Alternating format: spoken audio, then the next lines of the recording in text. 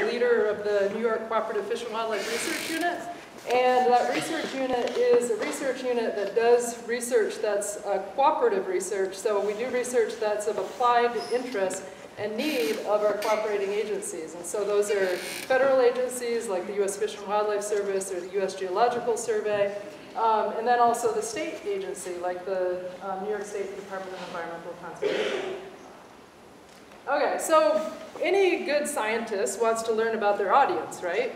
So when I go out and study animal populations, I need to learn about the wildlife species. And so before I came here, I wanted to learn a little bit about the, the wildlife critters that run around the halls of Dryden. So um, I was thinking about using one of these. Does anyone recognize what this is? What's that? Trail camera. Yeah. Who here, does anyone here hunt? Okay, so some people are familiar with this because a lot of people use this for hunting. This is a trail camera, and what this trail camera does is you can set it up and it's motion activated. There's no lights or anything, but anytime something walks in front of it, it'll take a picture. And so I thought it would be a good idea to give one of these trail cameras to Mr. Crocker to try to capture the wildlife of, of Dryden. And the first thing that happened is Mr. Crocker gets this thing, and he's like, come with directions. And he doesn't know that when the camera is actually on and taking all of his pictures of him trying to figure out the device. You had to know, giving me these pictures, that you can't Okay, so, you know, he's calling the 1-800-HELP number And then he gets it out and he takes a picture of his finger, a picture of his knee maybe, not quite sure what's going on here. And then uh, Mr. Rice Weber's nose, I guess. Thought that was a good idea, like nose hair pictures or something. Um, and then they're all standing around it, like, is something wrong here? Is this working? And look at the look at their their hands. They're all like, hmm. All those pictures. Like, there's a lot of confusion going on in these photos. These are the best photos out of all of them. Better than all of you students is just setting up the camera. And then, no comment. I have no idea what was going on here or why he was doing this. I'm pretty sure that's you, though, right? I wouldn't know. No, okay. no idea. Okay, so this is the happy picture. I think they got it to work here. So um, thank oh, you both for, for setting this up oh. and getting these, uh, and I have a special prize for you after. Uh, Okay, so they were successful in getting 8,674 photos um, from this camera right here.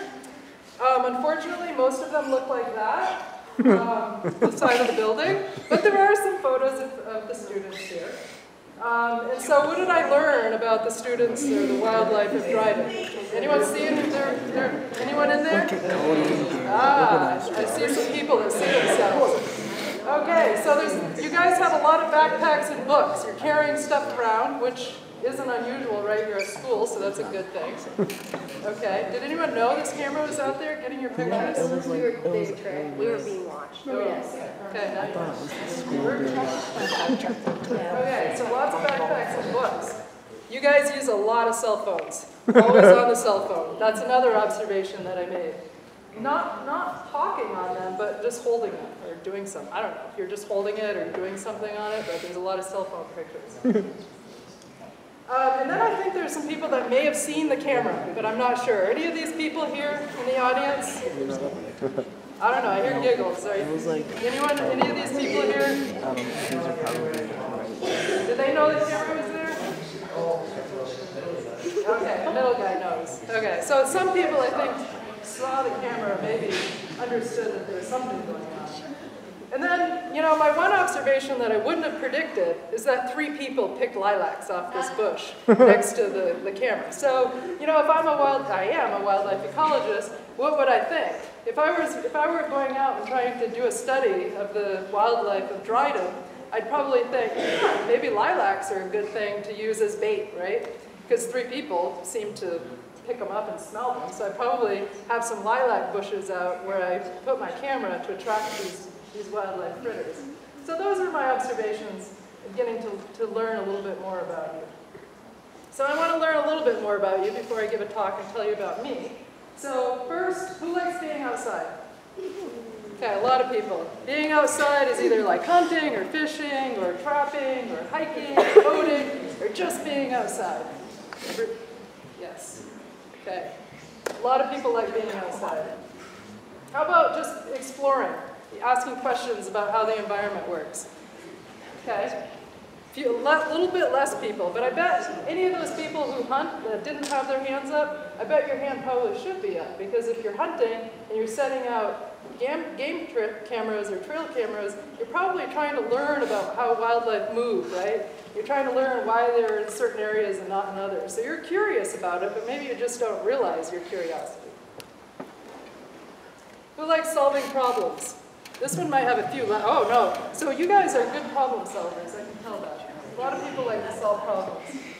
Now, when you finish, when you finish school, who wants to do work that's meaningful, that's important to society? Okay. So all of these things right here are exactly the kinds of things that I get to do in being a wildlife biologist. And I'm going to try to uh, demonstrate some of these things as I go through my talk. So the core area of my research is two different areas, as Allison mentioned. One is I do research on landscape management. So how does the landscape structure influence the way individuals are moving about that? How connected is the landscape for wildlife species? And I design corridors for wildlife to allow wildlife species to move through landscapes. And also biodiversity conservation. How do we ma maintain the variety of species that we have in our environment? And then I also do this applied spatial ecology. So what's the spatial dynamics of animal populations? How does the landscape influence the way that the individuals are moving around?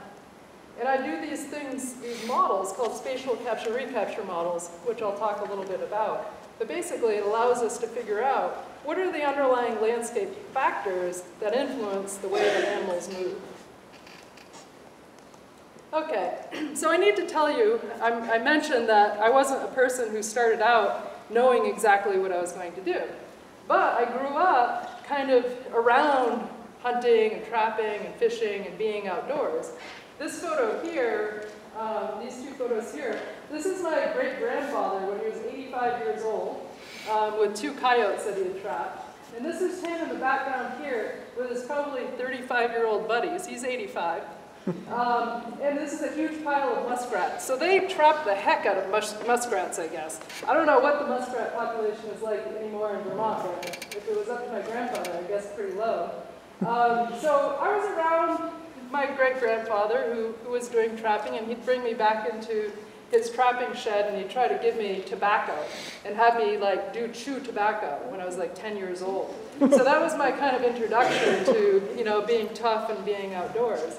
And I guess I did uh, hop on a snowmobile every now and then, that's me up in the top picture. But I had no idea wildlife ecology was a career. I didn't know it existed. And so what did I do? Well, when I was in high school, uh, I was good in science and math, and I really enjoyed science and math. And I'm the first person in my family to go to college. My parents didn't go to college, my aunts or uncles didn't go to college, my cousins didn't go to college, no one went to college. So I didn't have any advice from anyone who had gone to college telling me different options for careers. But my guidance counselor told me, maybe you should go into chemical engineering. You're good in science and math. A woman in chem chemical engineering will make a lot of money. So I was like, okay, make a lot of money, do science and math, that sounds good. So what did I do? I went to uh, Clarkson University for chemical engineering.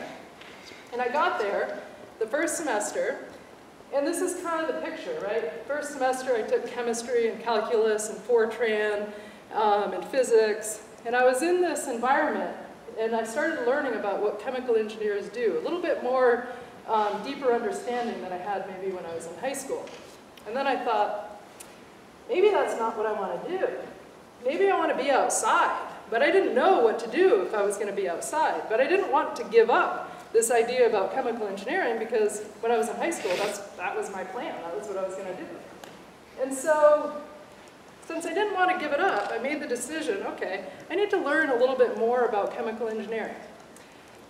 Going to Clarkson University is very expensive, and I didn't want to waste my parents' money on college if I didn't know exactly what I was going to be doing. And so I said, okay, I'm going to take a leave. I'm going to only go one semester, and I'm going to stop going to school. I'm going to learn more about this chemical engineering thing. So back up a little bit to when I was in high school. When I was in high school and I was interested in chemical engineering, I established the first um, junior engineering technical society at my high school. So I developed this club that didn't exist. And I also developed the first chapter of the Society of Women Engineers at my high school. And through this, I made connections, and I shadowed chemical engineers when I was in high school. And so I got out of Clarkson that first semester, and I called up these people that I had met when I was in high school.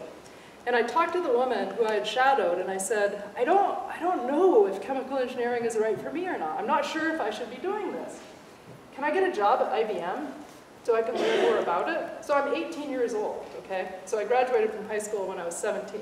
So I'm 18 years old, and I want to get a job at IBM. So I use my connections. She gives me this job. So I'm chemically processing computer wafers at IBM. And this is what it looks like. You go into this clean environment, and you put on this white suit, and you're in there, and you're mixing up a bunch of chemicals, and this is a computer wafer, and you're processing these computer wafers. And I did that from when I was 18 to 19 years old. And then I really knew that chemical engineering was not something that I wanted to do. And I also did this third shift, by the way. So that was a little foray into learning more about potential careers. Okay, so chemical engineering wasn't for me, so then what did I do? I thought, well, maybe I'll go to the city and maybe I'll use my math skills. So I moved to Boston, okay, now I'm 19 years old. And so I moved to Boston and decided that, hmm, I think I could get a job using these math skills at Filene's. So I was the executive assistant to the vice president of credit for Filene's department stores. How did I get the job? Because I convinced them that I had math skills. I convinced them that even though I had never used a spreadsheet before, Excel spreadsheet, I told them that without a doubt, I can learn how to do what you need me to do. So what did I do? I developed models that basically calculated the risk of Filene's about how much debt these consumers could accumulate before it became too much risk for these credit card, for the company to take on the credit card debt. Okay, that wasn't for me either. So I did that until I was 21 years old, working in Boston, and they said they were going to pay for me to go to school. They were going to put me to Boston College to actually get my degree. Um, but then I realized, do I really want to be in business? Maybe that's not actually what I want to do. Okay, so what did I do? I moved to Maine. And so I moved to Maine and I started environmental studies, or environmental education. I thought, okay, maybe I want to, maybe I want to be a, a secondary school teacher. I think that would be cool. And so you can see, I have no idea what I'm doing, right? I'm just like moving around from one thing to another and kind of exploring these ideas. And so I went into environmental education, and then I took a botany class, and my professor in botany said, you seem to be really interested in science. Have you ever heard about this career called environmental science? And I was like, no, tell me about it. And so he told me about environmental science, and then I realized that is what I've been looking for. That's exactly what I want to do. So the next day I switched my major, and I went into environmental science. So when, now I'm in, in undergrad, I'm, I'm doing my bachelor's degree. And so one lesson is volunteering is really important. Volunteering when you're in high school, volunteering when you're in college. Sometimes it's difficult to volunteer, I know that, um, but this is a good way to gain experience. And so I volunteered um, here on the upper left uh, at a wildlife rehab place, basically bandaging, bandaging up uh, bald eagles uh, working with all kinds of species. And then I worked for the New York State Department of Environmental Conservation in Potsdam, New York. What did I do there? I banded Canada geese, I banded ducks, captured ducks, um, installed these things called beaver deceivers, which basically regulates water flow. So beavers can't hear the sound of the water. Um, it won't dam, dam up uh, the water. And then the next summer I volunteered more. So this is now my second summer in my undergrad, and this time I was a volunteer at the U.S. Fish and Wildlife Service. And I did this through the Student Conservation Association. And the Student Conservation Association is really cool because you can volunteer at a lot of really neat places, and they pay you a small like living stipend. Um, so no salary, but you, they pay you living. And so what did I do there? Anyone know what this thing is?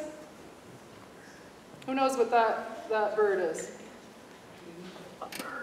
Any other ideas? It's a woodcock.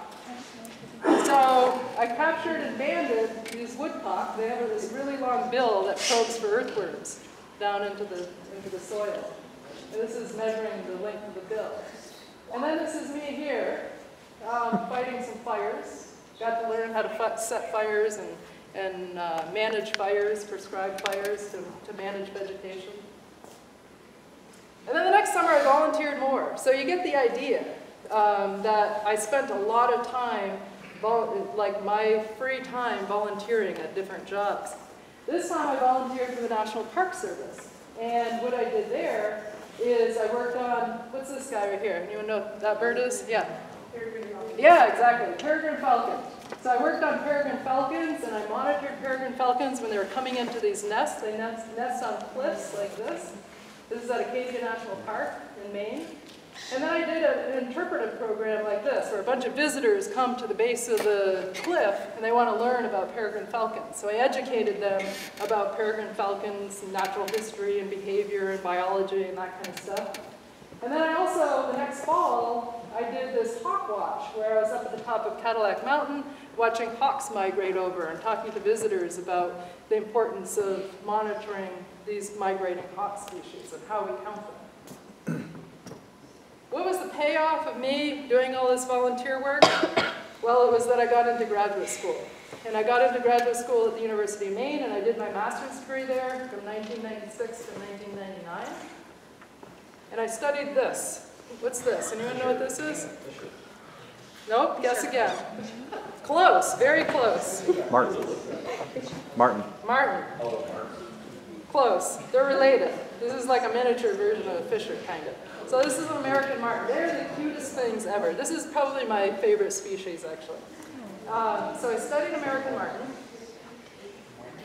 And the questions that I was asking in my master's research was, if you're harvesting the forest, like a clear cut or a selection harvest, what does that do to the primary prey of marten, which are small mammals and snowshoe hares?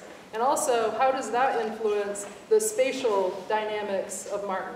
Do they have bigger or smaller home ranges if they include more or less of what might be considered like suboptimal habitat? And I got to do some cool stuff, like trap marten. And so uh, this is my kind of first experience in actually like trapping a live animal and administering drugs. And so we would give it, uh, so this is me drawing up some uh, drug in a vial here, and we actually would give it, it's, it's a street drug actually, it's ketamine, but on the street it's called Special K. So we'd give a little dose of Special K, and they'd fall asleep for a little bit. Um, and then we would weigh them and, and pull a tooth, like a premolar tooth, a little teeny tooth. And we can pull that tooth and we can age and, and figure out how old it is. So a lot of equipment here to, to handle these guys, but they're just as can be. There's one in the, the trap there. So this was kind of kind of neat experience for me. And then once once I um, captured them, I would put this on them. This is a radio collar.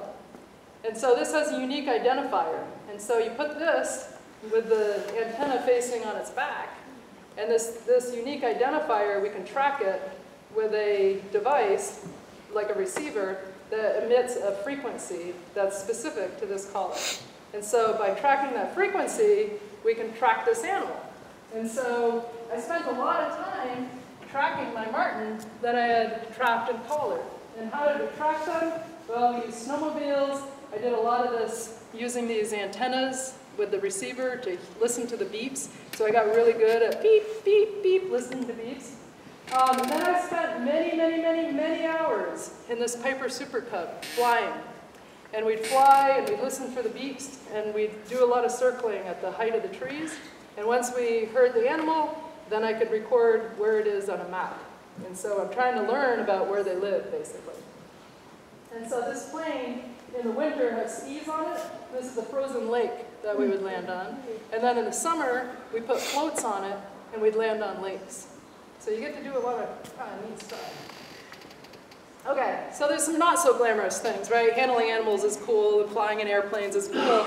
Um, less cool, maybe, is I said the primary prey of martens are, or, yeah, martens are small mammals and snowshoe hares. So I actually needed to learn something about what they were eating. So I had to trap small mammals and learn about them too. And I just, they just stink. They pee in the traps and they just kind of stink. And so we would ear tag them and capture them and learn about how many there are. So for me, that was probably the less glamorous part. And then we needed to learn something about snowshoe hares. This is one of my technicians here basically counting hare poops on his hands and knees. Hmm. So we were counting hare poops and developing a relationship between how many hare poops there are and how many snowshoe hares exist on the landscape. With a, basically like a regression model, if you guys have done any kind of regression stuff. And then we would wear these respirators because there's hantavirus, nasty things that you don't want to get. Okay, so this master's work, I mentioned, I evaluated what's the influence of this kind of partial harvesting.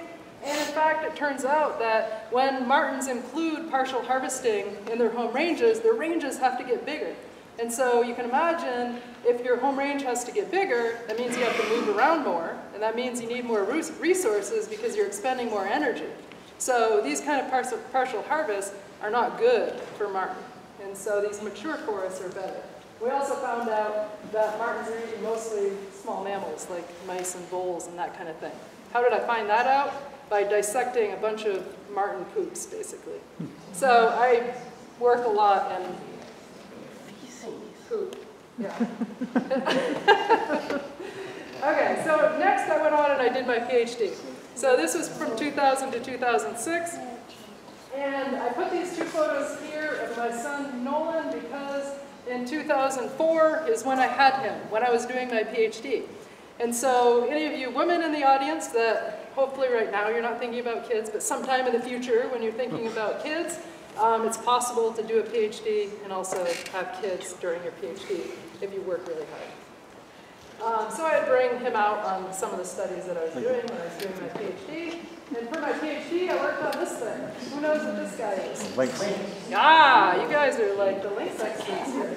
So if you want to come up and feel a lynx after, this is a lynx right here. So lynx have these incredible, huge feet. So check out their their uh, paws and feel feel the, the pelt on that.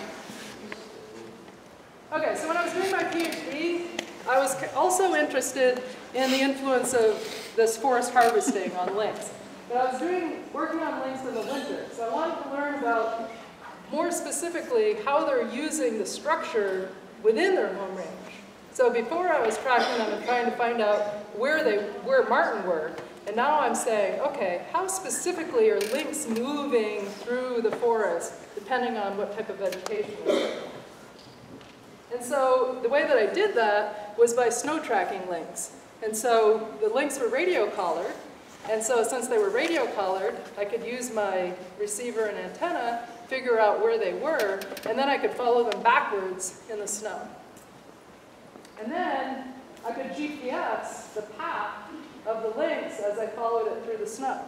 And so if you get a path like this, then you can do cool spatial statistics with this and figure out how tortuous is this path relative to the vegetation. And so we can use something called fractal dimension. Maybe in, um, in your classes you learned a little bit about fractal geometry. So we can use something called fractal dimension to characterize how tortuous this path is. Okay, the fun stuff is actually is of course capturing lynx. Like who wouldn't want to capture and handle a Canada lynx, right? Um, so this is me here uh, capturing and putting down a Canada lynx. There are huge, huge feet here, kind of measuring the length of the feet, putting a radio collar on it, checking out their teeth. Uh, this is how we uh, weigh them. And this is actually a lynx in a trap. You just can't tell. That's that photo I showed you before. Uh, it's in a leghold trap. More fun stuff. Spending all day, all winter, outside, snowshoeing, tracking Canada lynx and learning about how they move through the landscape. Um, this is me with one of these GPS units following a lynx trail. Get there miles and miles of snowmobiling to try to find out where they are. Oh yeah, and this was four hours from the nearest town. Um, The other, I put the fun stuff question mark because I think this is fun. Some people didn't think it was so fun. Um, there's me. This is the level of the snow. See that head right there? That's me. That's the snow. So it's very, very deep snow. Um, where Lynx live, tracking through this stuff, very challenging. Um, sometimes it rains. Technicians don't get very happy when it's snowy, cold, and they're wet. Um, and then all the time, snowmobiles got stuck. So that actually wasn't the fun stuff, but everything else was really cool. Okay, so I asked some questions. What drives these habitat choices by lynx? So is it the density of snowshoe hares, which is their primary prey? Or is it how visible the snowshoe hares are? Is it how they can actually access the snowshoe hares and, and capture and kill them? And so I had two different hypotheses. One might be they're selecting the vegetation to maximize the density of prey, or two, they're trying to maximize their access to prey, which would mean a reduced understory stem density. But if a reduced understory stem density means that probably the density of hares are lower because hares are associated with high density stems. So these are kind of two counter hypotheses that I had about why they're making habitat decisions. So what did I ask? Well, so my question was, are lynx trading off hare density for accessibility of, the, of actually capturing and pursuing the prey? Remember I said I was GPSing their paths, so here's one of these GPS paths, and we can measure the fractal dimension of that path, and that's here on the y-axis. And I can look at the fractal dimension, or how tortuous the path is, for males compared to females. And what this is showing is that the fractal dimension of female lynx was greater than male lynx. And we can also characterize when they're making a break in their decisions about movement hmm. through the landscape. And the spatial scale at which they're making decisions was different between males and females. That was one part of my PhD. The other part of my PhD was working on martens in Maine and martens in Newfoundland. And the question there was, martens in these two different areas, Newfoundland, Canada, and Maine, evolved in very different landscapes. And the landscapes they evolved in was one, Newfoundland is very naturally fragmented. Maine has a lot of human-induced fragmentation. And so what's the difference of these two species evolving in these very different landscapes? And so, what, whoa, this slide is way off for some reason, but um, basically, um, don't worry about any of those lines because they're not in the right places. Um, what this is, is the amount of suitable habitat that are in the home ranges of the martens in um, Newfoundland up here and Maine down here.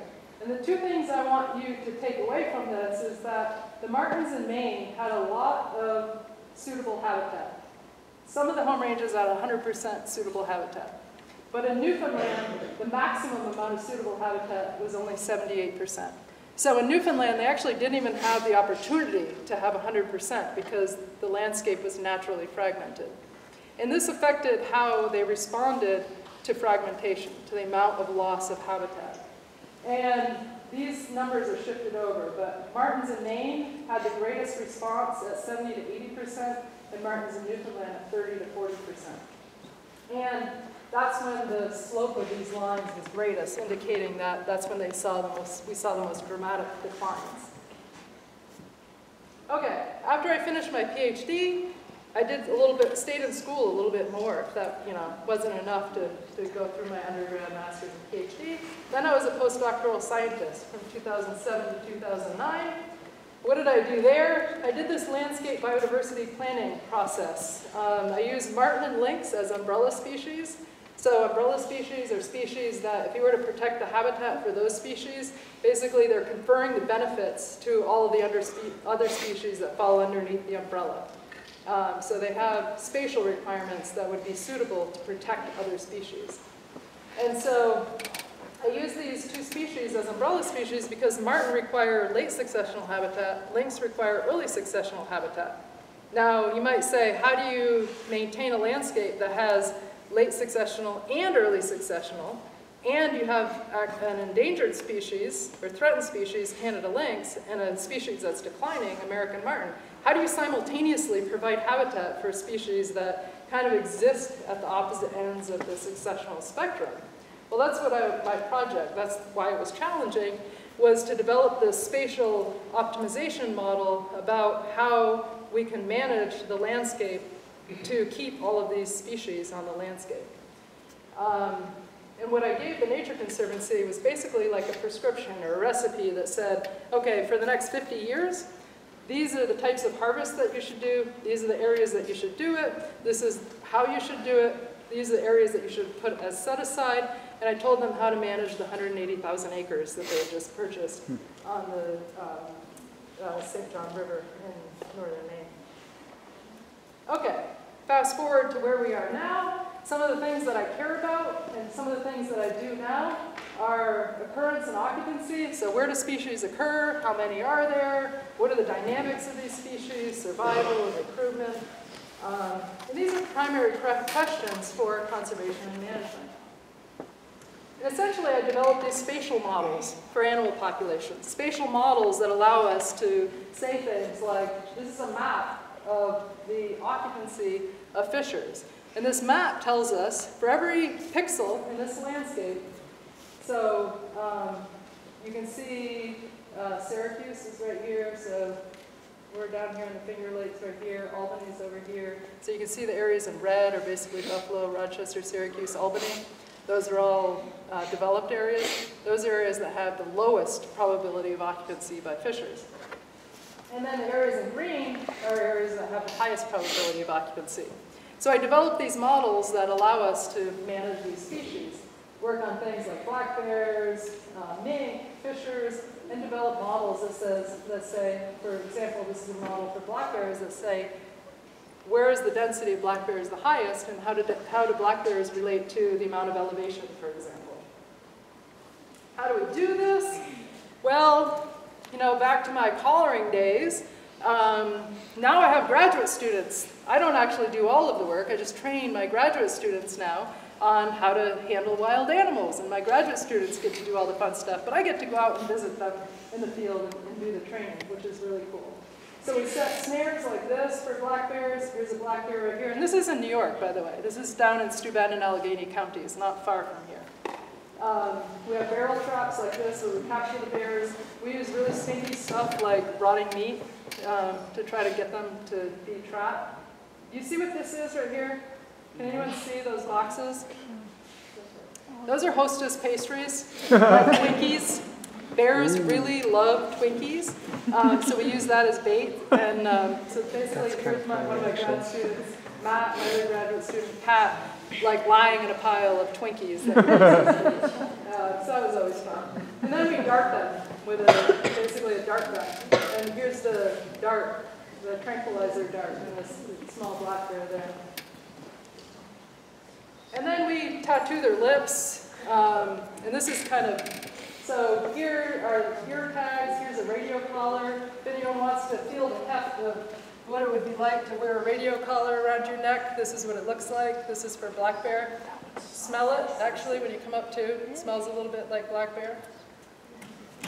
Um, so we put the ear tags in, we put the radio collar on, and then we also tattoo the